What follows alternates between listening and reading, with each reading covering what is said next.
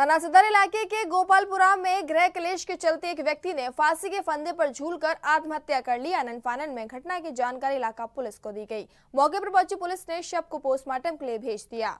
रविवार देर शाम को गृह कलेश के चलते एक व्यक्ति ने फांसी के फंदे पर झूलकर अपनी जीवन लीला समाप्त कर ली। घटना थाना सदर के गोपालपुरा इलाके की है। बताया जा रहा है कि हेमंत प्रसाद पिछले काफ़ी दिनों से डिप्रेशन में चल रहे थे, जिसके चलते उन्होंने आत्महत्या कर ली। वहीं इस घटना की जानकारी इलाका पुलिस को दी गई। मौके पर पहुँची पुलिस ने शव को कब्जे में लेकर जाँच पड़ताल शुरू कर दी है। सी न्यूज़ के लिए गोपाल शर्मा की रिपोर्ट।